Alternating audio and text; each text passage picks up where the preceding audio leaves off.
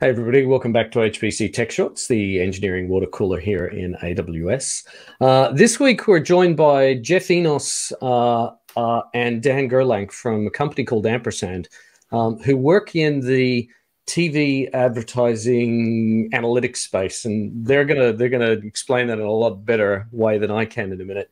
Um, they just did it. They they they they've they've become a, a pretty big customer of AWS Batch uh, in recent times, and they've got some They've got some uh, great insight into the bits that made it work really well for them, and you know how they've worked around some of the you know some of the curveballs that, that their workloads through them while they're on their on their way to trying to implement that. Um, they've got a, a, pretty interesting story to tell. So uh, anyway, so I'll bring them in now. Uh, I hope everybody gets a lot out of the conversation. Hey, Dan and Jeff, thank you for joining us. Yeah, great to be here. Thanks for having us. Um, now, uh, Dan, you're the senior director of data science, and so I'm kind of going to expect that you know what your data science is in service of. So, what is hope so. What does that? Yeah, what does ampersand do? Uh, yeah, so ampersand's actually been around for over 30 years, and it started out actually as a company called National Cable Communications. And historically, you could think of it as if you wanted to run a television ad across the entire U.S they had relationships basically with every cable company or direct tv now with Verizon, AT&T. So you can go to one place instead of having to go to every cable company network separately. Hmm. But also with that, now there's also insight into all of the different audiences and what these are going to look like across the entire country. And so because the audiences are presumably it's much more segmented and much more complicated understanding of audiences now, right?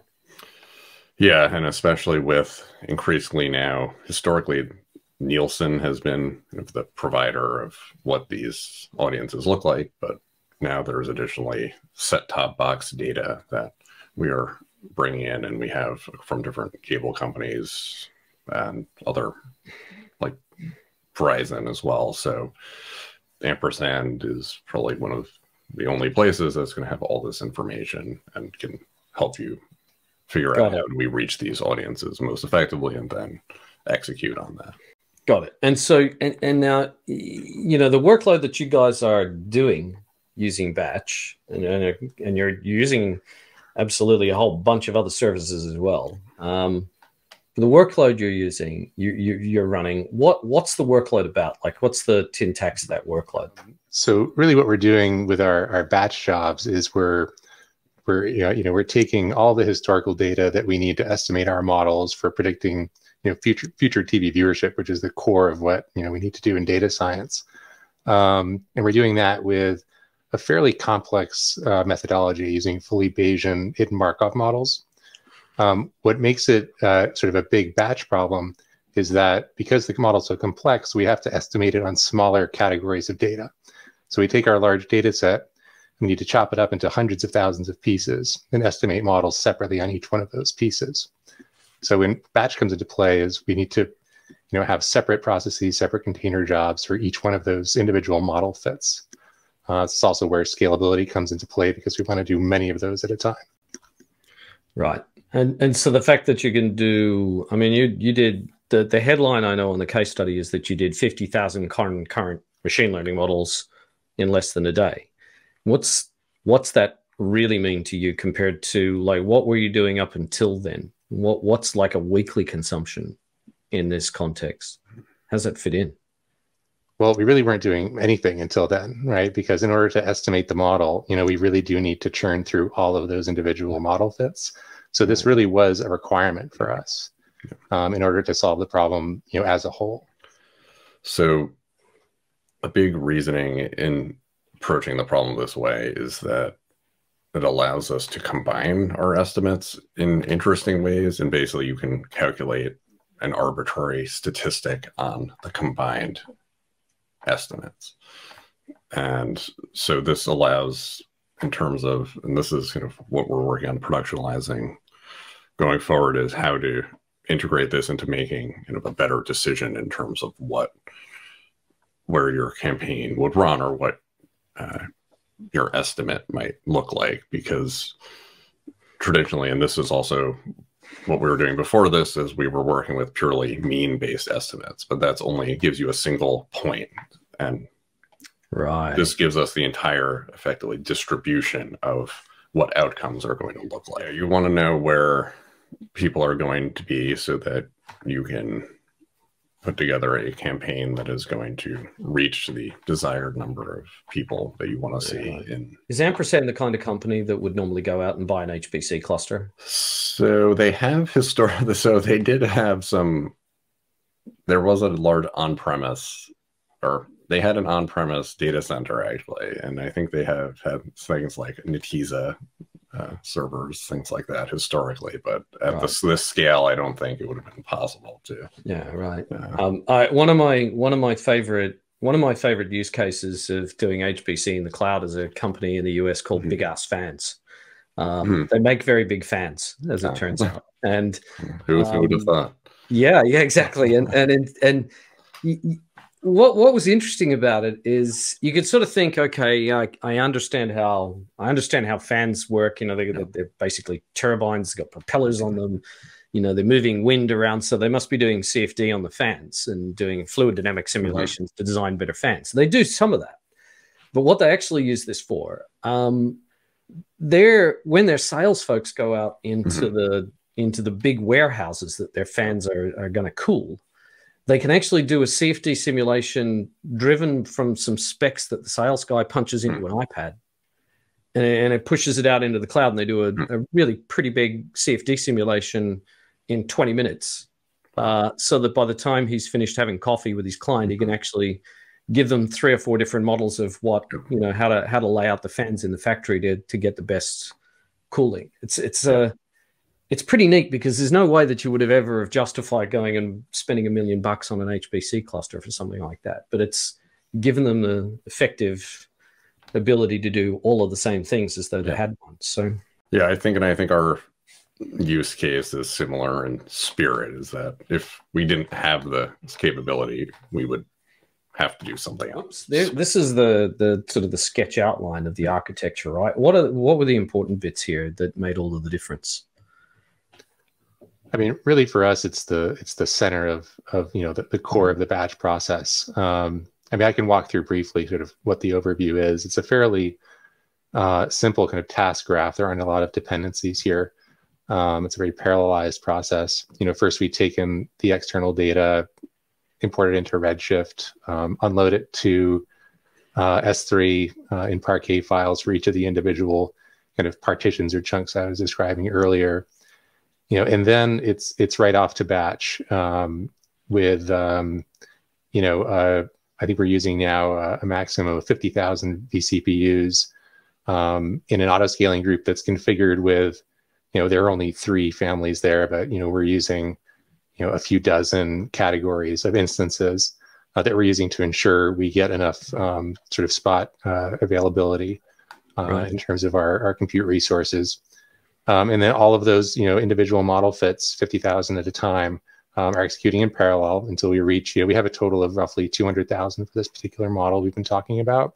Mm-hmm. Um, you know, each one of those processes is, you know, serializing model output to S3, um, uh, you know, so that we, our data scientists can then consume, uh, or rather, you know, our, our uh, end users can consume, um, you know, those predictions that we're making.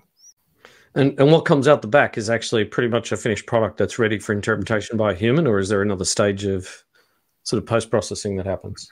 Uh, th- there's a little bit more to this picture that does involve additional AWS services. So you know those models when they're output uh, would then be deserialized, loaded into um, a ClickHouse server that's running on EKS, um, which is the the data you know from which is then consumed by you know an API that we've written, um, also running on EKS that then serves out uh, information to uh, another application in the organization. We've, open sourced um, some of the uh, the tooling we've used to implement the hidden Markov model piece of the fitting process. Oh, okay, right. it's, it's built on PyMC3 uh, or PyMC, I should say. Um, we um, actually part of using you know what's so attractive about using batch is that we don't really need to do too much work. We don't have to have too much custom code in order to manage the the workflow itself in terms of submitting jobs, queuing them up. Um, you know, we don't have to use any external you know type services like not external but other AWS services like SQS. Um, we really just have to submit the jobs. Yeah. Um, but yeah, the open source work we've done has been more on the sort of the the statistical uh, sort of estimation tooling. Yeah. Okay. And the, by the way, when you when you did the when you sort of you know coming out of Redshift and the going into that input hmm. S3 bucket, you, you fragmented all of the inputs and so forth. Was that like a really uniform fragmentation of the of the input space? Um, I was talking to a, a genomics customer the other day, and when they you know their approach when they wanted to get maximum use of hmm. spot was to fragment things into what looked like very uniform uh, workload chunks because it gave them a really easy ability to sort of do the the bin packing essentially.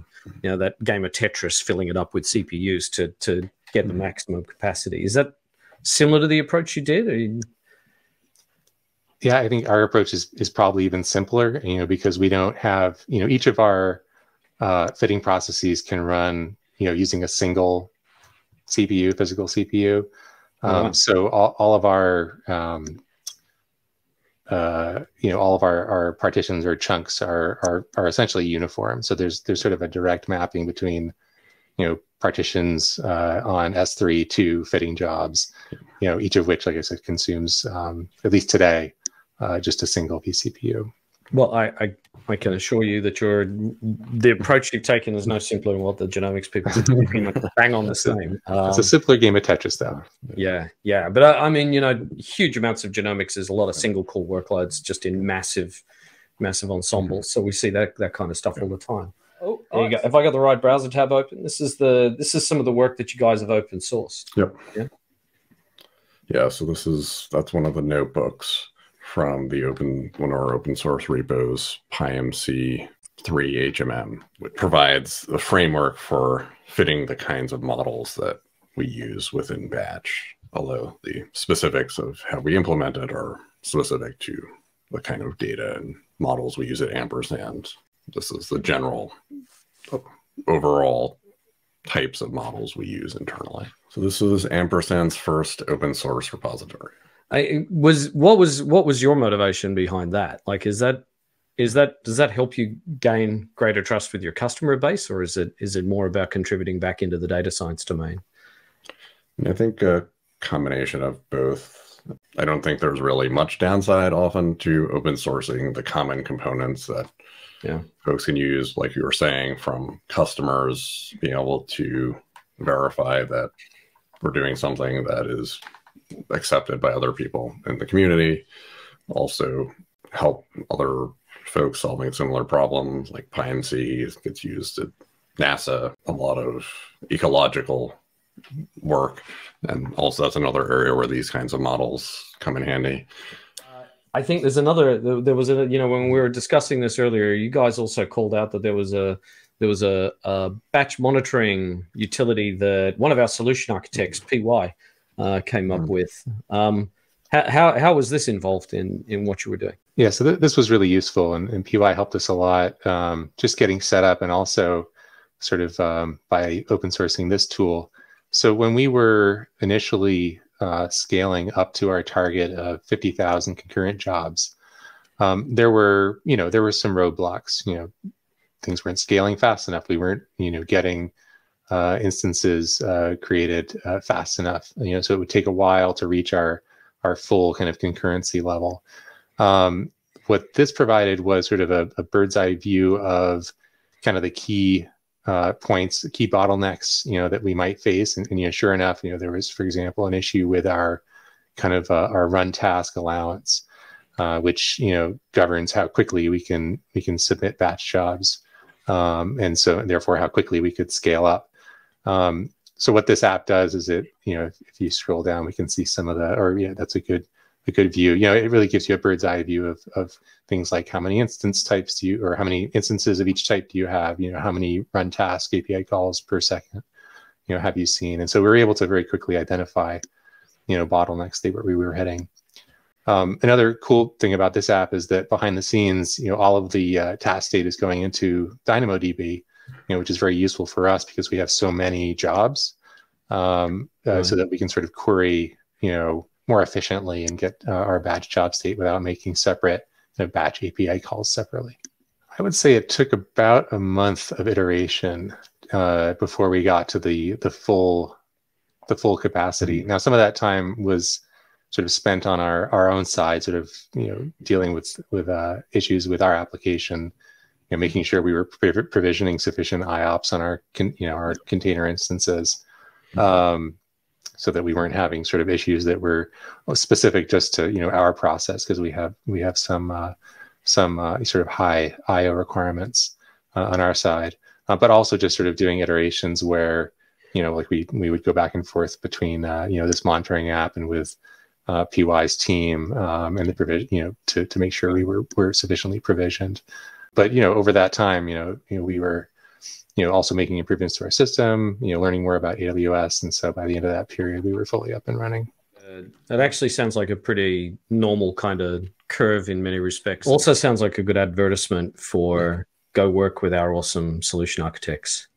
Um, and PY is one of the more awesome solution architects that yeah. you guys you guys scored. I guess also, yeah, any folks are are interested in working on large scale Bayesian modeling, um, reach out to me or Jeff. This is like we're these looking folks are are interested in doing this kind of stuff. Yeah. Okay. Sure. That's you're around, want to go work with PY, helping folks to enable this kind of work too. Um, Gentlemen, thank you for coming along today. Really appreciate it. Um, thanks for having us. Yeah, thanks. It's been fun. Uh, and for anybody else out there, uh, if there's other stuff that you want to see us dive deeper on uh, in future tech shorts, uh, come chase us on Twitter. Our DMs are open. Uh, we'd love to hear from you. All of the content that we do on the show is driven by uh, is driven by customer feedback. So, um, gentlemen, thanks very much. Hopefully, we'll see you soon for some other exciting discovery or cool thing that you've invented. Thanks